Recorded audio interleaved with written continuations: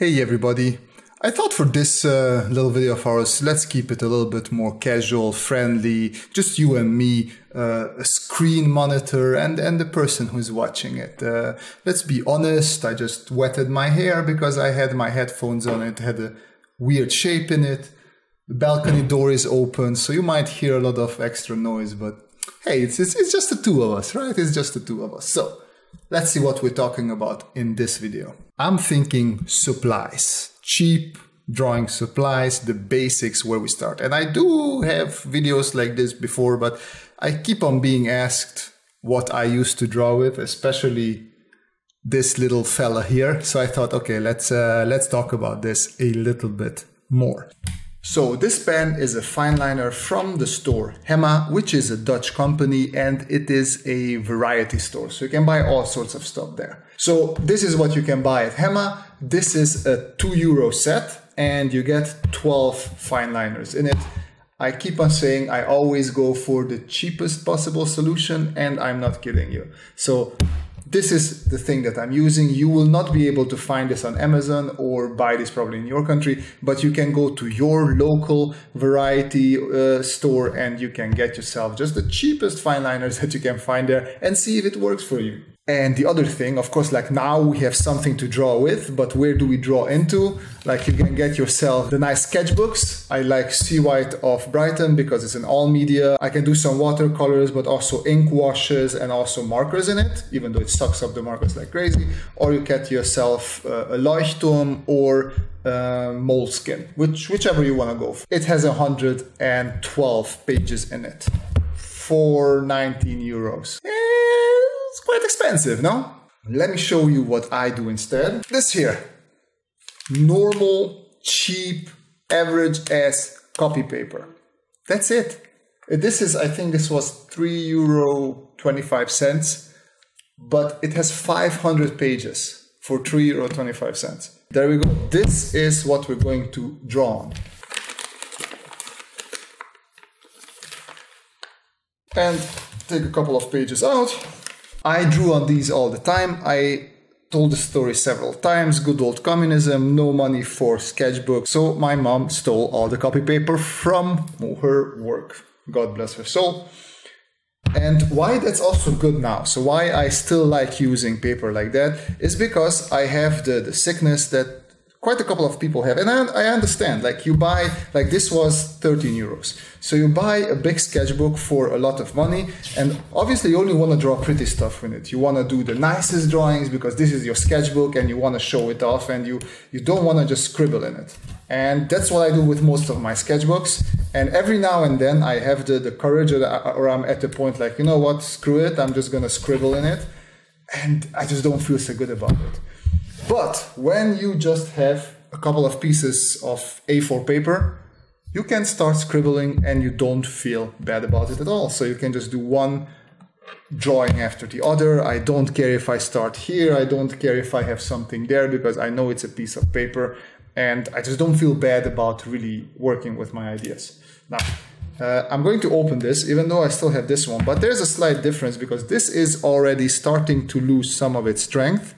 So it's becoming, the lighter I touch it, it's becoming almost a little bit pencily. So you can do pencily stuff. Let me show you what a new one does. So also, I'm just trying to tell you, don't try to switch too quickly away from uh, the old versions, old versions, from the from your older pens that are slowly running out because they still have value. There we go, nice little cut there. And we're gonna take out one of these, close this back up. So technically again, two euro, two divided by 12, you figure out how little, how few cents this costs. And um, this is the brand new one, and I'm gonna do some lines next to this one. I'm also just barely touching, but they're much stronger. So you sort of can uh, you can combine these two pens, uh, what I like to do is outlines with a new one because then you have the nice crisp lines and you can do the shading with the old one and then you can also get a bit more uh, maybe not graphic effect but almost like pencil like effect you can see how how it nicely fades away so it's a, a, good thing to uh, combine the two. And that's that's it. That's all you need technically. Um, I can also touch just quickly on markers as well. These are usually all the markers that are used. I really have no brand loyalty. For me, it's all about price and quality and performance. And you shouldn't have brand loyalty either. The, the, the brands should do everything for your loyalty, but only if they deserve it. So returning here, everybody knows Copic. These are qualitatively the best, also most expensive ones that you can get. And there's hundreds of different markers. I got to know Touch while I was studying. I find them to be very good, relatively quite close to Copic. Same with the Promarkers. I, I, I like them, but they are definitely on the cheaper side. Stylefile I discovered not so long ago just because I just wanted to buy something new and I saw these on the internet and they were relatively cheap and I like them so far. They are so everything that's not Copic is like extra saturated and weird. I have videos on this, like you can you can check it. I I will link some in in the description. But especially when you're learning, you really should go for the cheapest that you can get. Arteza is also in that cheap market for learning. It's it's perfect for you. And I want to bring the special attention to twin markers. And twin markers are also got from a local supermarket. If you're European, maybe you have heard of Action. It's originally Dutch, if I remember correctly, but you can find them in Belgium, Germany, France, Austria, Poland, uh, Czech Republic, and also Italy. And this is like a super cheap store. And I think three of these costs a euro, or you can get a set of this like for four euros, if I remember correctly. Either way, really, uh, ridiculously um, low price. They're also not super high quality, but for example, this one has a couple of grays. So let me take this off. Sorry if that was super loud. Uh, let me zoom in. So we have a cool gray 3, a cool gray 6, this was a warm gray one and a cool gray eight. So the stupid thing with this is that you can't really choose and they sell you like set together sets like this. But still you can you can use this. Like these are not really full anymore. I think i don't even know if i can use them. Let me just take them i'll see if we can work with them. Either way super cheap and it's perfectly enough especially when you're learning. And later on you can also buy the better ones once you know how to use them all right, uh, let us draw something. One thing to keep in mind, uh, so these are super thin. If you want to use markers, you will have to have either an underlay one that you can keep and just keep on pushing between your, your paper. So if I have a new paper, I'm gonna take this one and put below it just so it don't hit through. Well, it doesn't hit through just because, let's see if I still have any juice in this one. Ah, look at this, it does.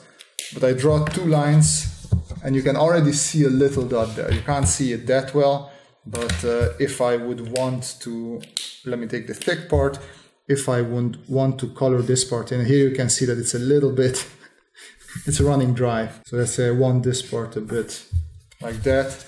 You can already see this will hit through. So that's why it's always good to have like an extra piece of paper there. And then the rest is, is, is up to you. Uh, let's say we want to draw a robot. So I'm just going to do a couple of thumbnails for robots.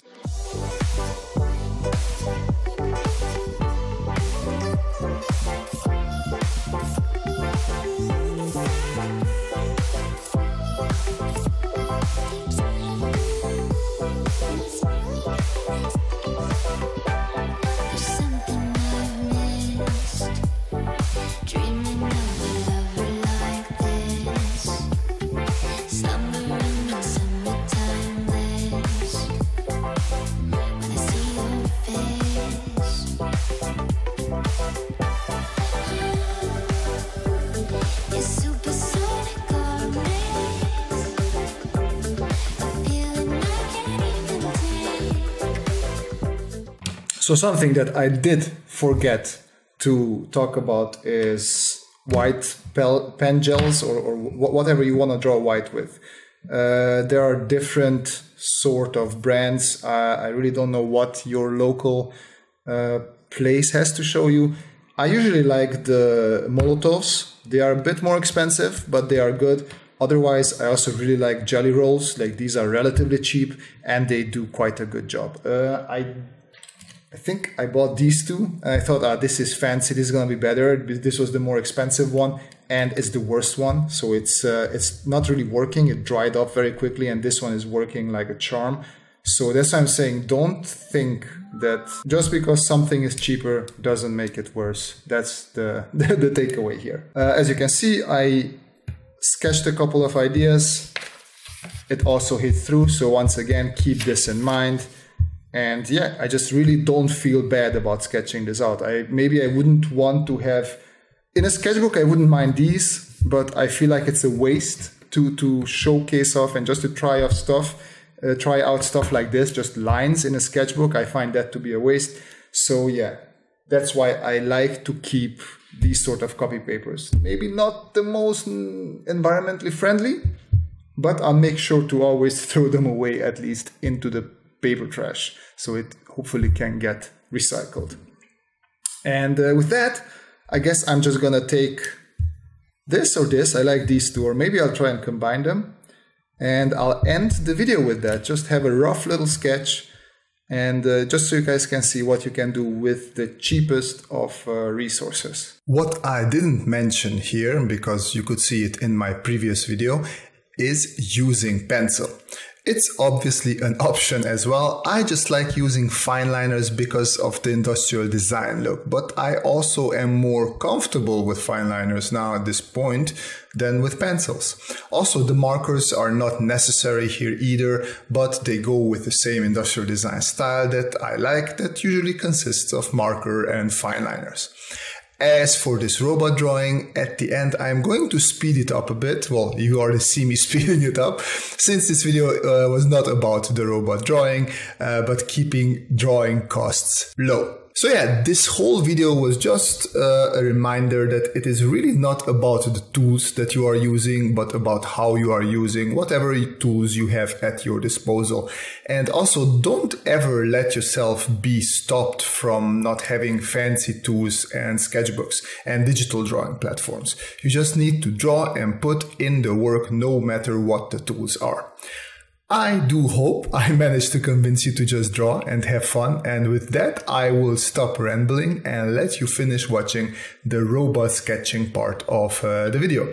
I'm really curious though what you guys are using for sketching now and also what you grew up with. Like what did you draw with when uh, you were a kid and what did you draw in as well? So yeah, leave me a comment down below. I'm very curious. I do hope you enjoyed this video. If you did, hit that like button, hit the subscribe button if you would like to see more content like this. And you can also follow me on Instagram for regular drawing updates. Or if you want to support me, take a look at the Gumroad and other links in the description down below. And as always, the most important thing is that you folks have a great time and see you in the next video. Bye bye.